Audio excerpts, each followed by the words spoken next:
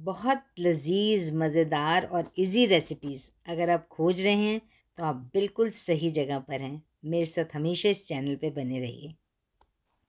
चलिए तो Indian aroma के किचन में चलिए और चल के बनाते हैं बिल्कुल हलवाई स्टाइल डोडा बर्फ़ी, जो घर में सामान पड़ा है उसी से बनाएँगे कुछ भी बाज़ार से नहीं मंगवाएँगे। अगर कोई चीज़ हमने ऐसी यूज़ की है तो उसका ऑल्टरनेटिव भी बताऊँगी। लास्ट तक वीडियो में मेरे साथ बने रहिए। अगर अभी तक आपने मेरे चैनल को सब्सक्राइब नहीं किया है तो सब्सक्राइब कर लीजिए। ये जो बेल आइकन है ना इसे दबा दीजिए तो आने वाली हर वीडियो की नोटिफिकेशन आप लोगों को मिलती रहेगी। थैंक यू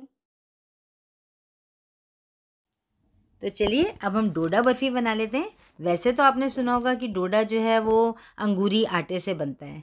पर हमारे को उस आटे की ज़रूरत नहीं है, वो प्रोसेस बहुत लंबा हो जाता है तो वो करना कई बार मुश्किल होता है। तो हमने क्या किया, हमने जो दलिया होता है ना, दलिया, आपके घर में सब लोगों के घरों में दलिया रहता है तो हम दलिया ले लेंगे और यहाँ मैंने 80 ग्राम दलिया लिया है और उसे मैंने भून लेने, लेना है तब तक, जब तक कि उसके अंदर खुशबू ना आ जाए। अच्छा अगर आपका दलिया थोड़ा मोटा हो तो आप उसको एक बार मिक्सी में हल्का सा चला लें। तो वो थोड़ा सा बारीक हो जाएगा और ये धनिया को लेकर आपने इसको हल्के हल्के भूनते रहना है। पाँच से सात मिनट तक आप हल्के आँच के ऊपर इसे भूनिए कि इसमें खुशबू आने लगे। और अब मैं इसके अंदर मिला रही हूँ दो चम्मच आटा, जो हमारा रोटी का आटा होता है ना, सबके घर में अवेलेबल है। तो बस वो दो चम्मच मैंने रोटी का आटा ले लिया है, वो इसके अंदर मिलाया है। आप कई लोग नहीं मिलाते, पर इसको मिलाने से हमारी बर्फ़ी को एक टेक्सचर मिलता है। अगर आप आटा ना चाहें तो, तो आप दो चम्मच मैदा भी मिला सकते हैं। कोई फ़र्क नहीं पड़ेगा और इसको हल्का सा भून लें। इसको भी उतना भूनें कि आटे की भी जो भुनने की है आपके पास खुशबू आने लगे। तो इसको भी तीन से चार मिनट लगेंगे। थोड़ा सा मीडियम से लो के ऊपर भूनिए। बहुत तेज़ आँच पे कभी मत भूनिए। नहीं तो क्या होता है उसकी जो एक सौंधापन होता है ना बर्फ़ी का वो चला जाएगा। तो बिल्कुल लो से मीडियम की तरफ़ अपनी हीट को ले जाइए और इसको हल्के हल्के से चलाते रहिए। तो इतनी एक बढ़िया सी अरोमा आने लगेगी ना आपको ये फील हो जाएगा कि येस, आपका जो अब ये आटा है, ये बन के बिल्कुल तैयार हो गया ये भुन के बिल्कुल परफेक्टली तैयार हो गया है। उसका कलर चेंज हो जाएगा और जो दलिया है, उसका भी कलर चेंज हो जाएगा। अभी मैं आपको दिखाती हूँ कि आपको कैसा लगेगा। और देखिए, अभी आटा भुनने लगा है, आप देख सकते हैं कि आटे का कलर भी चेंज हो गया और दलिए का भी तो ये परफेक्ट है। अब मैंने एक कढ़ाई के अंदर सवा लीटर दूध ले लिया है, एक पैकेट यहाँ सवा लीटर का मिलता है तो मैंने सवा लीटर दूध ले लिया इसके अंदर। बस यहाँ दूध को हमने बॉईल करना है, पर जब वो बॉईल होने से पहले ही जब थोड़ा सा रह जाए तो हम लोगों ने क्या करना है, उसके अंदर फोर्टी ग्राम्स मैंने असली घी डाल दिया है यहाँ पर और इसके अंदर मैं साठ से सत्तर ग्राम दही डाल दूँगी। आप दही ना डालें तो आप एक चम्मच सिट्रिक एसिड का भी डाल सकते हैं। और वो भी आपके पास ना हो तो अगर विनेगर हो खाने वाला तो आप विनेगर का एक चम्मच थोड़े से पानी में लेकर इसको डाल दें। और वो भी ना हो तो आप नींबू का रस डाल सकते हैं। हमने क्या करना है? हमने छेना बनाना है इसका। तो इन ऑप्शंस में से आप कुछ भी ले सकते हैं और हमको दूध को फाड़ना है। ये देखिए और जब दूध फटने लगे तो हमने क्या करना है? जो हमने दलिया और आटा भून के रखा था, वो अब हम इसके अंदर डाल देंगे। और अब इसको हमने लो हीट के ऊपर पकाना है, क्योंकि आपका जो दलिया है, वो बिल्कुल परफेक्टली गल जाना चाहिए, वो हार्ड नहीं रहना चाहिए, नहीं तो आपका टेक्सचर भी ख़राब हो जाएगा और आपका जो अगर दलिया हार्ड हुआ तो टेस्ट भी ख़राब और बस अब हम इसके अंदर मीठा डाल देते हैं। उसके लिए मैंने क्या किया, आपको 200 ग्राम मीठा डालना है। तो मैंने क्या किया, इसमें 100 ग्राम गुड़ ले लिया है और 100 ग्राम चीनी लिया है। आप चाहें तो 200 ग्राम चीनी ले लें या 200 ग्राम गुड़ ले लें या थोड़ा मीठा चाहते हैं तो मीठा अपने हिसाब से आप बढ़ा भी सकते हैं। तो बस देखिए, ये, अब ये भी हम दूध में डाल देंगे और इसको अच्छे से क्या करेंगे, मिक्स कर लेंगे। और इसको पकने देंगे, बिल्कुल स्लो इसके ऊपर हम इसको पकने देंगे कि हमारी चीनी या गुड़ जो है वो परफेक्टली दूध के साथ मिक्स हो जाए। आप चाहें तो गुड़ का पाउडर बना के भी डाल सकते हैं, पर इसको दो मिनट लगेंगे और ये परफेक्टली एकदम से क्या होगा, इसके अंदर दूध में मिक्स हो जाएगा। बस, और अब हम इसके अंदर डाल देंगे आधा चम्मच के करीब इलायची। आधा से एक चम्मच इलायची आप डाल सकते हैं इसके अंदर अपने टेस्ट के हिसाब से। तो वो डाल दीजिए और अब इसको फिर हम थोड़ी सी पकने देंगे और थोड़ा सा हमारे को इसमें पेशेंस रखनी पड़ेगी, क्योंकि जब हम डोडा बना रहे हैं तो हमको इसको मैं बार बार कहूँगी कि मीडियम से लो की तरफ़ रखना है, क्योंकि हमारा जो दलिया है वो परफेक्टली कुक होना चाहिए, ये सबसे बड़ी चीज़ है। चलिए तो अब आगे की तैयारी कर लेते हैं। यहाँ मैंने आधा कप के करीब बादाम, अखरोट और थोड़ा सा मैंने इसमें पिस्ता था, जिसको मैंने हल्का सा मिक्सी में क्या कर दिया था, ब्लेंड मतलब जैसे होता है पल्स करके छोड़ दिया, वो करके डाल दिया है और ये मैंने इसके अंदर चौथाई कप के करीब नारियल का बुरादा डाला है। नारियल को घिस के मैंने इसके अंदर डाल दिया है। आपके पास अगर बुरादा अवेलेबल है तो आप वो भी डाल सकते हैं और इसको अच्छे से क्या करेंगे, मिक्स होने देंगे और इसको हल्की हीट पर पकने देंगे तो हमारे जो ड्राई फ्रूट्स हैं वो भी सॉफ्ट हो जाएँगे। और यहाँ मैंने एक चम्मच कोको पाउडर ले लिया है, उसमें थोड़ा सा गर्म पानी डाल दिया है और अब मैं इसके अंदर डाल दूँगी से वन फोर्थ टी स्पून के करीब ऑरेंज कलर। आप ये भी कर सकते हैं कि चुटकी भर उसके अंदर लाल रंग आपके पास हो तो वो भी साथ में मिला सकते हैं। इससे क्या होगा कि आपको लगेगा कि हम ये कोको पाउडर डालेंगे तो उसका टेस्ट आ जाएगा बर्फ़ी के अंदर, बट ऐसा कुछ नहीं होने वाला।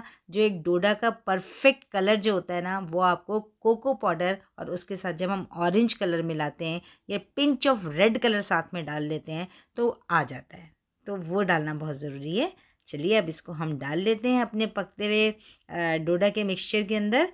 और देखिए थोड़ी देर में आप, देर में आप देखेंगे कि कलर इसका कितना बढ़िया हो गया है। अगर आपको कलर तब भी परफेक्ट ना लगे तो आप थोड़ा सा फ़ूड कलर और मिक्स कर सकते हैं इसके अंदर। तो बिल्कुल परफेक्ट मार्केट वाला जो कलर होता है ना, वो आपको इसके अंदर मिल जाएगा। और यहाँ जो आप देख रहे हैं ना, ये मैंने जाना है वन टीस्पून लिक्विड ग्लूकोज आप लिक्विड ग्लूकोज डाल सकते हो, आप कॉर्न सिरप डाल सकते हो, अगर दोनों में से कुछ भी अवेलेबल नहीं है तो आप ना डालें। और अब हम क्या करेंगे? इसके अंदर एक चम्मच असली घी भरकर डाल देंगे और इसको मिक्स करेंगे और इसे भुनने देंगे। देखिए, अगर हमारे को मार्केट स्टाइल की चीज़ें चाहिए ना तो थोड़ी सी पेशेंस रखनी पड़ती है, पर उसका रिज़ल्ट इतना मज़ेदार होता है ना कि मैं आपको क्या बोलूँ। तो चलिए इसको भूनते रहते हैं, भूनते रहते हैं। अगर आपको कुछ और काम करना है तो करते रहिए, पर इसे चलाना ना भूलें, नहीं तो ये जल भी सकता है। और देखिए, एक स्टेज ऐसी आएगी कि आपका जो मिक्सचर है वो थिक होना शुरू हो जाएगा। आप देख सकते हो पहले वाले टेक्सचर में और इस टेक्सचर में फ़र्क है ना? तो बस भूनते जाइए भूनते जाइए, अपने हाथों की एक्सरसाइज करते जाइए। रिज़ल्ट बड़ा मज़ेदार होने वाला है। तो बस जितना हमारे पास घी बचा है, उसे हम डालते रहेंगे और आप कंसिस्टेंसी देख रहे हैं कि अब एक परफेक्ट कंसिस्टेंसी आ गई है। आपके डोडे ने आपके पैन की साइड्स छोड़नी शुरू कर दी हैं और देखिए वो एक लम्ब की तरह दोनों तरफ़ घूम रहा है, चारों तरफ़ घूम रहा है, कहीं चिपक नहीं रहा है।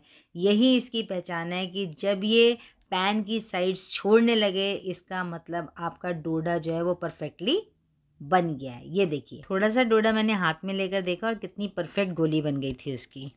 बस, अब हमने क्या किया, एक डिश को लाइन कर लिया है, अच्छे से ऑयल या घी लगाकर और अपना डोडा का जो मिक्सचर था, वो इसके ऊपर डाल देंगे और इसे फैला देंगे अच्छे से। देखिए, मैंने इसको अच्छे से फैला दिया है और इसको थोड़ा सा टैप कर दीजिए कि बिल्कुल परफेक्टली सेट हो जाए। बस इतना आपको करना है, एक ट्रे के ऊपर कर सकते हैं, एक थाली पे लगा सकते हैं और बस ऊपर से हमने इसके ऊपर डाल दिया। थोड़ा सा नारियल का बुरादा जैसे मैंने आपको बोला, ये डाल देंगे और उसके बाद हम इसके अंदर जितने ड्राई फ्रूट्स आप चाहते हो ना, आप जो चाहते हो, बादाम डाल दीजिए, काजू डाल दीजिए, मैंने थोड़ा क्रश करके डाला है, आप साबुत डाल दीजिए थोड़ा सा मैं पिस्ता भी इसके अंदर डाल रही हूँ। तो बस ये सब डाल देंगे और इसे क्या करेंगे थोड़ा सा टैप कर देंगे, जो हमारे स्पैचुला होते हैं ना, उससे हल्के हल्के से दबा देंगे कि ये जितने भी ये सब चीज़ें हैं, आपके ड्राई फ्रूट्स हैं, वो इसके अंदर अच्छे से फिक्स हो जाएँ। और इसको हम रूम टेम्परेचर पे छोड़ देते हैं। अगर आपके पास जल्दी नहीं है तो आप इसको चार से पाँच घंटे के लिए भी छोड़ दें। पर मेरे को थोड़ी सी जल्दी थी तो मैंने इसको थोड़े टाइम बाद काट लिया है। पर मैं आपको सजेस्ट करूँगी कि इसको कम से कम चार से पाँच घंटे के लिए रूम टेम्परेचर पर छोड़ दें और तब काटें। तो इसके जो ये पीसेज हैं ना, ये बड़े ही इक्वल और परफेक्ट कटेंगे। वैसे मैं तो ना एक बात और कहूँगी, अगर आप ओवरनाइट छोड़ दें तो वो उससे भी बढ़िया हो जाएगा। और बस देखिए क्या परफेक्ट हमारे पीस कटने शुरू हो गए हैं। तो डोडा तो हमारा कट ही रहा है और बिल्कुल बनेगा भी मार्केट स्टाइल का।